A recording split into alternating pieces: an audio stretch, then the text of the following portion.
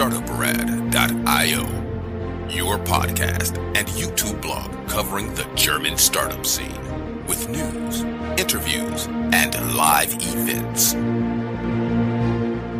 Hello and welcome everybody. This is Joe from startuprad.io, your startup podcast and YouTube blog from Germany. If you're new here to our podcast, just make sure to hit the like and subscribe button. This time I'm bringing you again an interview with the Accelerator program of the German Book Publishers and Printers Association, der Börsenverein des deutschen Buchhandels. The Accelerator program is called Content Shift. And this time, finally, yes, we got the winner here. We have Carsten here, the co-founder of SciFlow. Welcome. Thanks, Joe, for having me. Great to be here. It's always a pleasure to have you here. And for everybody who's thinking like I did, I'm a big science fiction geek.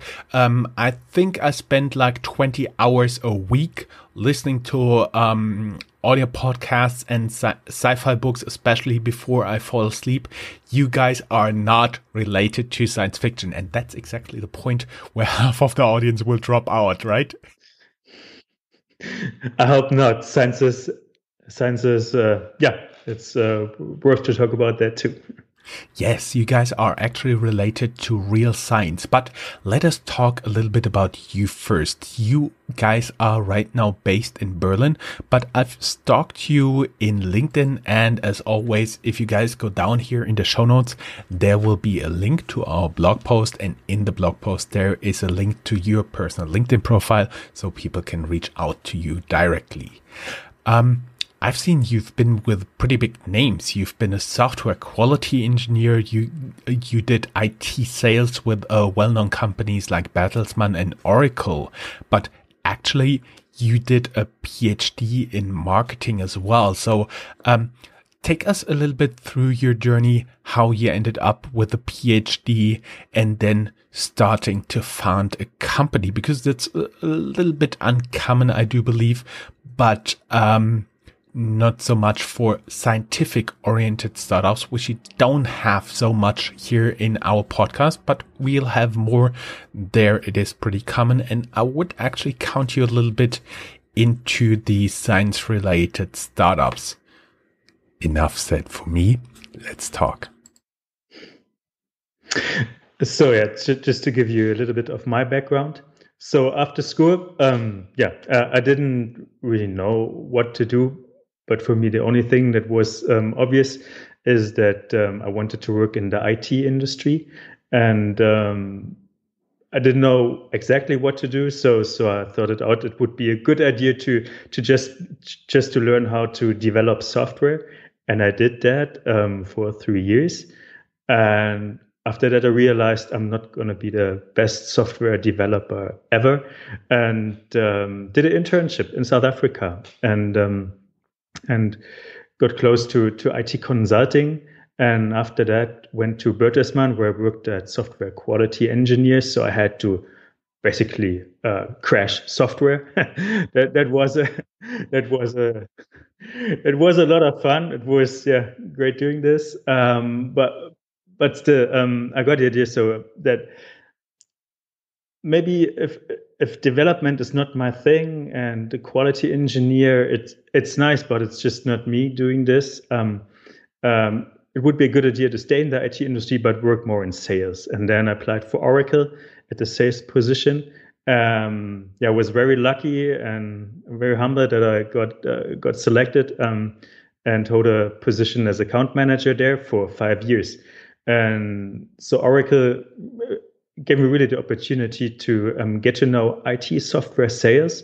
Um, and that's a skill set I definitely um, can use um, as an entrepreneur um, at SciFlow right now. Um, so yeah, was was a good experience there. And during during my time at Oracle, I also did a PhD in in marketing. So I actually had a look at how the sales model from Oracle uh, develops um, during the time when did when they did uh, buy a lot of companies. So so Oracle did over 100 um, acquisition, uh, acquisitions. Um, and and um, yeah, and I, I had a look during my PhD thesis how how the sales model from from uh, Oracle developed during that time. Just for um, the geeky part of our audience, yes, I'm not a coding geek, I'm a science fiction geek, but nonetheless, what type of uh, programming languages do you use for coding? Oh well, I started with C um, and then did a little bit of Java as well. But this is yeah, twenty years. Uh, yeah, twenty years past now. Well, uh, uh, more than 20 years ago, I started out in school with coding and I started with Turbo Pascal. No, I never got beyond uh, Visual Basic for applications, but at least I did a little bit of it. Um, then you especially learn how difficult that could be. Um, talking about crashing software, you got any tricks um, how to best crash software as a quali- software quality engineer? so I think the the most important thing is um, the goal of of testing software is not to show that the software is perfect and has no mistakes. The goal is to find those errors because those errors are in there. There's no software which don't have an error um, I guess. And it's really about how to find them. And of course, it's an engineering discipline, so there is a structured uh, uh, process of um, of writing test cases and execute them. Um, but I think the the most important thing to keep in mind that every software has errors, and they just need to be found. Mm-hmm, mm-hmm. Um, I was wondering, then you did held a position with the Free University of Berlin, Freie Universität Berlin. What did you do there? Um, so right now, um, I'm actually hold a position right now. Um, it, it's sort of a alumni association for the startups from the FU Berlin. So when we started SciFlow, we were in close contacts with two universities, the University of Magdeburg and the Freie Universität Berlin, and both supplied various support for for SciFlow. Um, at first, an office, uh, very important if you start up that you have a that you have a place to go and not work all the time from home. but also, but also in terms of um, um, business model development and yeah, and getting in touch with some people for um, for various things you need to keep in track as entrepreneur, like marketing, sales, etc. And those those universities really helped us. And at Freie Universität, they have sort of an alumni association for all their uh, startups, and I had a position there, and it's called Founders Circle, and it's it's just something where we meet once a month or every two months and um, talk about a topic that is relevant for all entrepreneurs. Um, last time we had it last weekend, we talked about um, uh, branding and brands, and it was quite interesting. Mm-hmm. Um, so you have been a professional software crasher. You also sold some software and you did a PhD in marketing. And then you ended up with a startup company. What what took you there? How did you get the idea? How did you bump into the problem you want to solve? Uh, well, um, so first of all, um, probably I always wanted to start a to start a startup. and this is really something that was always one of my one of my dreams, what I wanted to do.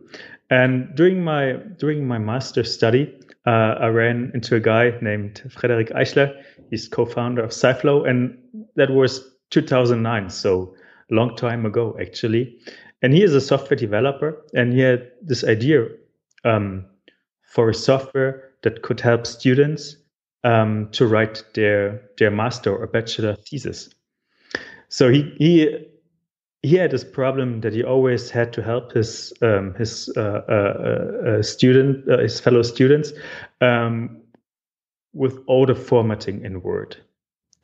So when writing a bachelor or master thesis, um, students always had to keep in mind that the formatting is right, that the footnotes are on the right page, that the citation style is uh, correct applied, and so on and so on. A lot of things to keep in mind, actually. And Frederick helped his fellow students with that. And as a software engineer, um, he had the idea to automate this. Um, and that was like the the birth uh, the birthday. Uh, the, yeah, SciFlow was born on on that day um, because he thought okay, if it's possible um, that students would use a text editor that is just designed for scientific writings, a lot of things could be automated. For example, the creation of the formatting. And yeah, as I said, this was back in 2009. Um, we knew each other then, and um, we're thinking about to to start a um, startup then actually. But it turned out um, we went to yeah we went to the corporate world. Um, he was with Cat Capgemini, I was with Oracle, and then 2014 um, we met again um, during the time I was writing my PhD thesis, and I had to admit that actually not much changed in the last five years.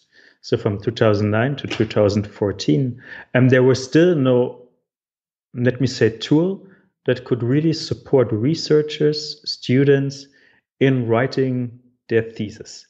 So of course, um, uh, Joe, you, you, mentioned the geeks out there. They will know LaTeX. They will know LaTeX for sure, and this is probably the most this is something very common to write um, um, research with but there's also like most most students and and researchers um, still would use microsoft word and and this is um, this is something really strange because Microsoft Word was really never designed to do to for for scientific writing. And yeah, as I as I said, in, from 2009 to 2014, nothing changed. There was no tool there which could really support researchers and students. So 2014, we decided that we want to start SciFlow. We want to um, do something. We want to support um, those researchers and students out there in, in um, um, publish their research. There's, there must be a better way to publish their research.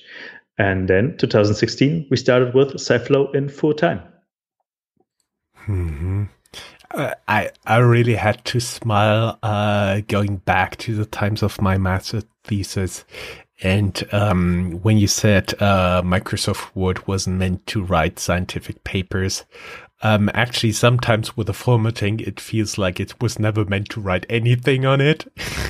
um, uh, I I know LaTeX LaTeX LaTeX um it's it's a scientific language to actually get the the holy fancy stuff like the graphs and the formulas in there okay now we are at the point in your life where you guys first met want to found a startup back in 2009 which is by now 11 years in the past and then you for some reason did start it anyway? What was what was the type of um, event? What triggered to actually get to get to start working, get to the doing? Because you can talk about startup ideas all day. Um, I do believe um, there had to be a trigger, something that actually did start to um, did kick off the uh, the founding of the company, right? Yeah, you're right. There, there was a trigger and it, uh, I, remember that day actually. So it was it was a summer day in 2014, and I was really frustrated um, with writing my PhD thesis because I, I, um, I tried LaTeX, I tried Word, and both software didn't work probably as as I wish they would work.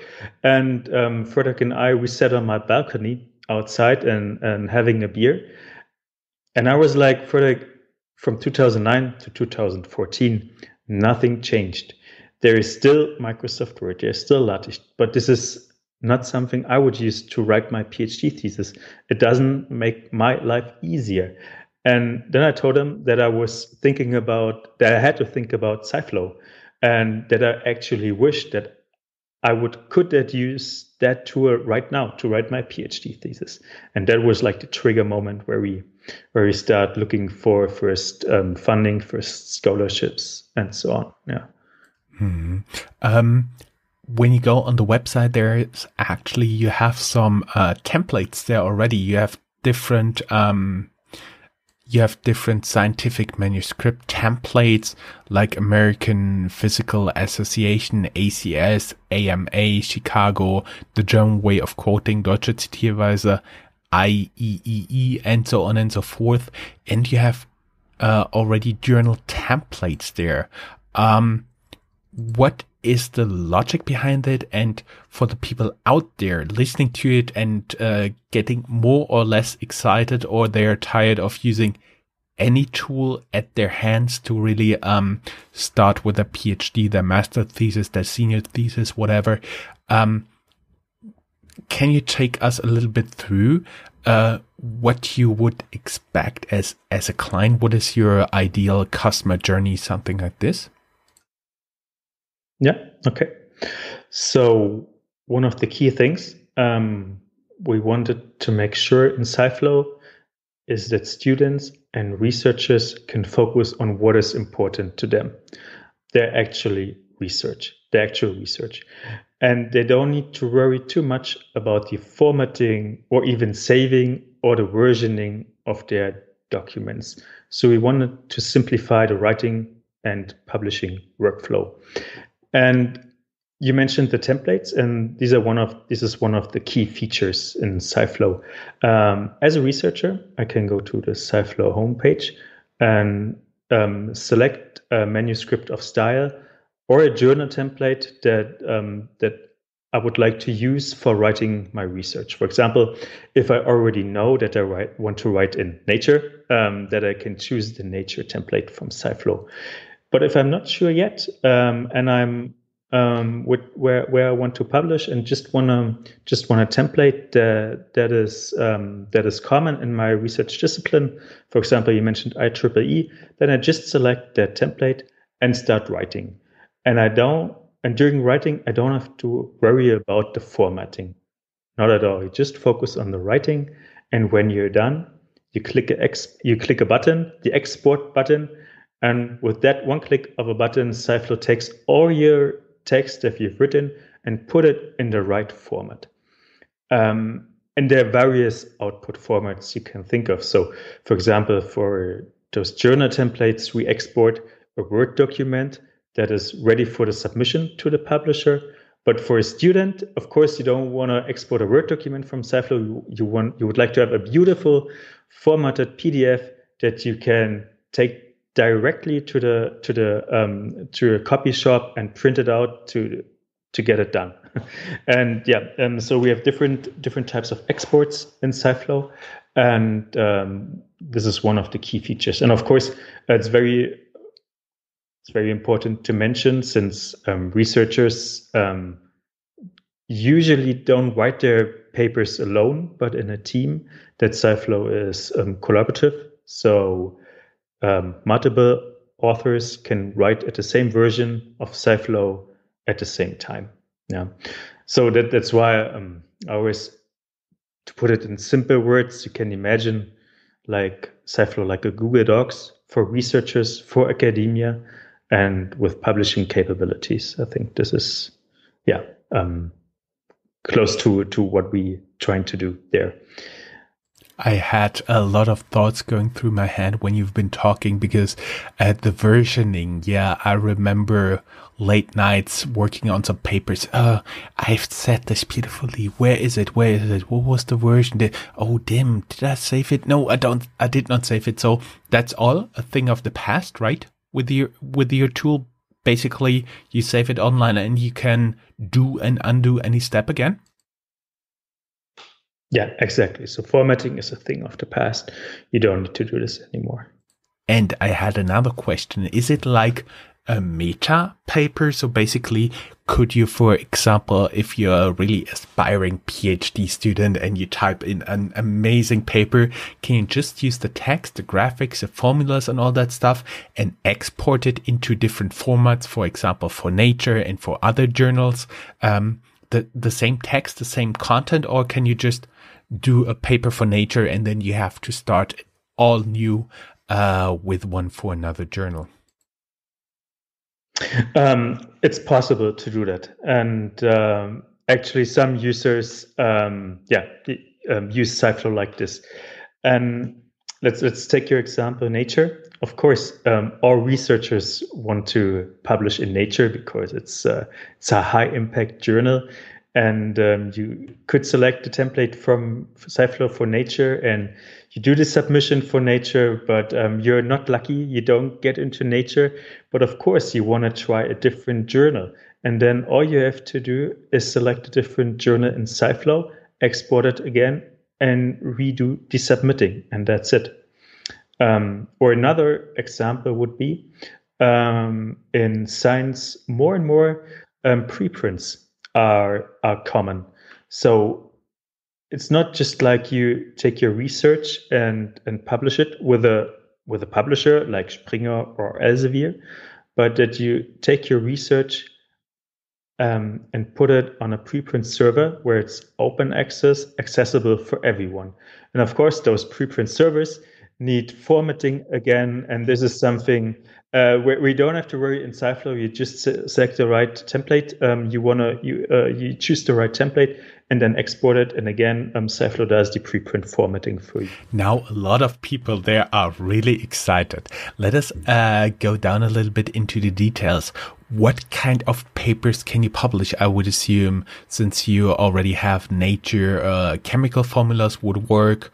Um, pictures most likely would work. Um, uh, complex mathematical formulas, what does work and uh, what doesn't? Can you, for example, also put the picture of a molecule in there? yeah. Um, so um, I would like to mention, uh, like to do uh, uh, talk about two points here.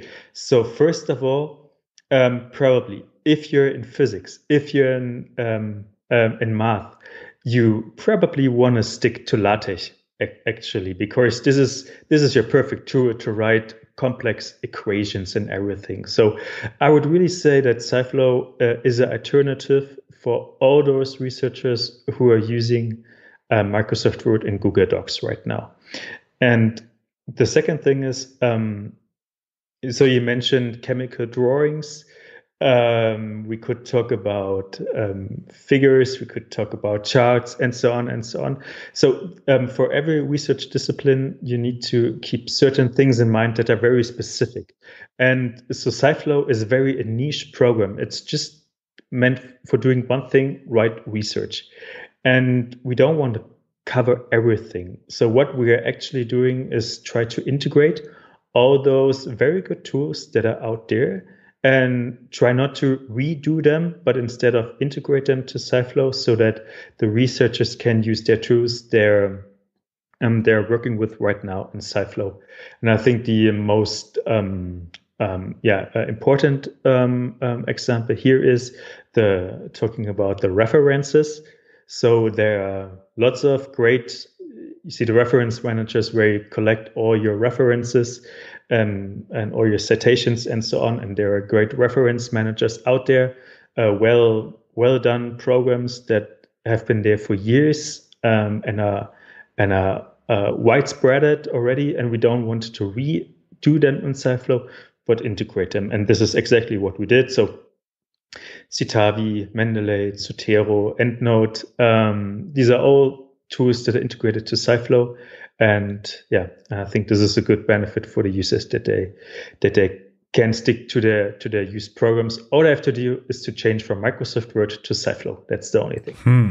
I know a friend of mine. He wrote his PhD thesis in the late 80s, early 90s, and he actually had to build up a database, an Access database, to get his uh, citations all there in place. And you just take this out with using already um, um, a citation engine that's already out there. Um, I was curious when you've been talking, um, when you have like several authors, it's it's always a thing of reputation. It's always a thing of pride. Who came up with a pride idea? Can you actually tell, like, um, after the paper is published and there's one good idea, all the colleagues love, and then one of the authors says, "I wrote it. It was my idea." Can you actually then have a look who wrote which piece of the paper when you still have it in Sciflow? the short answer is no, no, we can't do this. Oh, anyway, I, I, I do believe it's it's a very interesting paper. We all uh very interesting idea to um make it easier to submit papers. You're integrating a lot of tools, And um, my understanding right now is that you're not looking at mathematics, at physics, like we said with LaTeX. Um, but um, I've I've seen medicine, I've seen economics, social studies, stuff like this. Yeah, exactly. Mm-hmm. Great. Um, everybody would like to learn more about SciFlow. Go down here in the show notes. There is a link to our blog post, which contains the company website. As always, I say, sorry guys, there's just one blog post. If we have ever to change anything, we'll do it on a blog post. It's, it's just not feasible to uh, change this in hundreds of places at the same time. We are talking because you are the winner, finalist and winner, winner, congratulations again, of the uh, Content Shift Accelerator Program 2020. And um, I would like to get a tiny bit into what did Content Shift for you and for what type of startups would you recommend recommendate an application? Yeah. So, um, I actually have to mention that we we applied for Content Shift, I think two years ago, and didn't made it to the final round. and now two years later, um, we're actually the winner. Um, this is something um, the team is very excited about. Um, yeah, as you may imagine. So, and, and it, it, it shows really the progress we've made um, over the last years. Um, so we knew about the Content Shift for quite a long time. And I, I went to the website at the beginning of the year and saw that the jury of the content shift is basically the who is who of the German book industry. You find Thalia, you find Hugendubel, you find Wiley. Um, Wiley, of course, it's very was very interesting for us because we are in the same industry of um, um, scientific publications, and um, Cornelsen was there, and I, I thought like, okay, this is um, yeah, this is basically the who's who of the German book industry, and um, I would be really keen to get their feedback, their views on SciFlow. Um, and why not win 10,000 euros? That would also be nice. Um, so, um, so yeah, we, we did the application. We were selected for the final round, and then there was the this great workshop um, um, weekend it was during the week, but it's called workshop weekend, um, starting of September, where um, where we met for two days. Of course, we we kept our distance and wear masked all the time. But uh, uh, those discussions there, um, and there was there was so much worth in it because um, these are these are the guys that know what they're talking about, and to get feedback from them uh, from them is is just great. So I would recommend Content Shift to those startups who are, of course, in the content industry and um, are are looking for feedback, um, basically. Um, and since I think almost every startup should look for feedback, um, I, basically I can recommend this program to any startup in the content in the content area. Um, it if you made it to the to the final round where the workshop began to set definitely pays off and it's worth the application. I I once heard in my life that there um, there's one word that describes startups that are not looking for feedback. They're called dead. um, yeah, right. yeah. Um, so basically, that was everything I want to ask you. I just wish to thank you very much for being my guest. Best of luck for SciFlow and um, hope to see you again in the future. Thank you so much, Joe, for having me today. Thank you. That's all, folks. Find more news, streams, events, and interviews at www.startuprad.io. Remember, sharing is caring.